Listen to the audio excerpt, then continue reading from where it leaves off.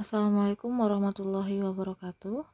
Baiklah, sesuai dengan kontrak belajar yang sudah saya tampilkan tadi, pada bab pertama kita akan mempelajari tentang proses tentang pertumbuhan dan perkembangan.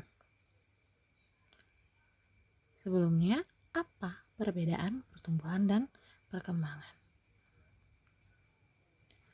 Perbedaan antara pertumbuhan dan perkembangan.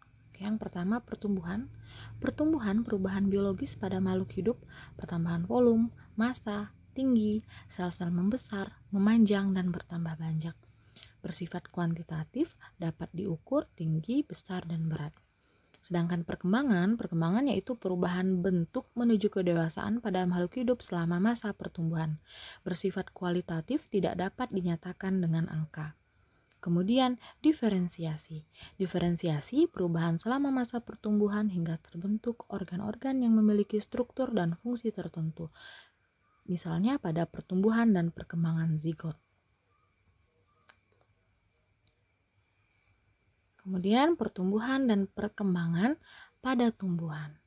Proses pertumbuhan dan perkembangan tumbuhan secara seksual baik dikotil maupun monokotil itu diawali dengan proses perkecambahan.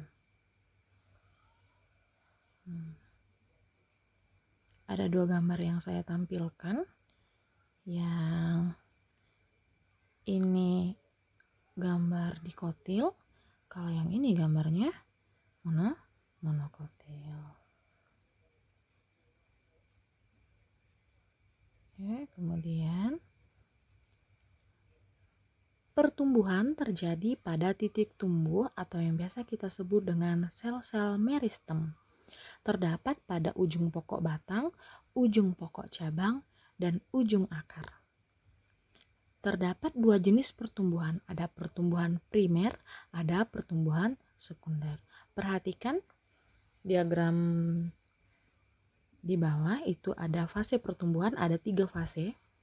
Itu yang pertama, ada fase lock, kemudian yang kedua ada pertumbuhan maksimum. Kalau fase lock ini artinya masih bertumbuh, masih tumbuh terus. Nah, kalau pertumbuhan maksimum udah cukup sampai di situ pertumbuhannya, nggak akan naik lagi, udah maksimum, udah maksimal.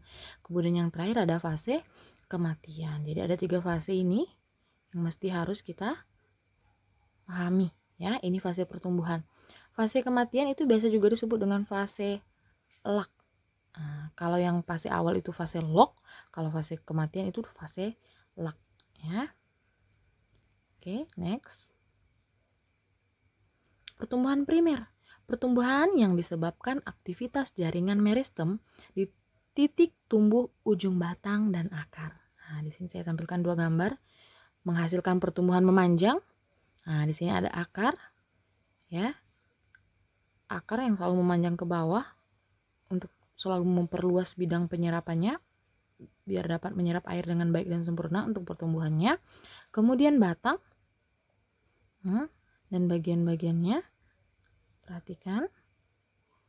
Nah, ini kalau kita perbesar, ini ada meristem apikal, bakal daun, tunas aksikalar. Oke, menghasilkan pertumbuhan memanjang berarti ini terjadi proses pertumbuhan primer. Oke, next. Pertumbuhan sekunder.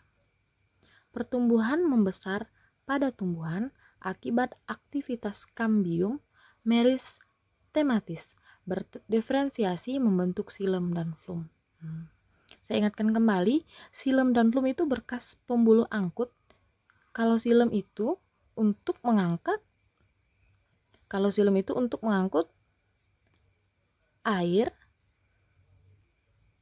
dan zat hara dari akar menuju ke seluruh bagian tumbuhan. Sedangkan flum itu menghasil hasil mengangkat hasil fotosintesis. Oke, kita perhatikan.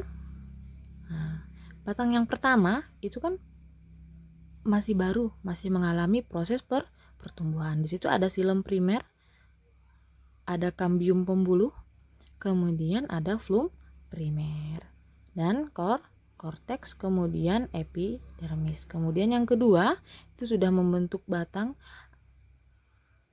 masih terjadi proses pertumbuhan tapi sudah memiliki silem dan flum sekunder. Kemudian ada kambium gabus. Nah, sel epidermisnya sudah mati sehingga kita sebut dengan kulit pohon. Nah, ya. Jadi, kulit pohon itu tersusun atas sel epidermis mati dan sel sel gabus. Kemudian yang terakhir ada batangnya sudah semakin membesar. Ada silem sehingga nanti akan terbentuklah seperti ini. Ah, pertumbuhan sekunder aktif pada lingkungan kaya air dan nutrisi, misalnya pada musim penghujan.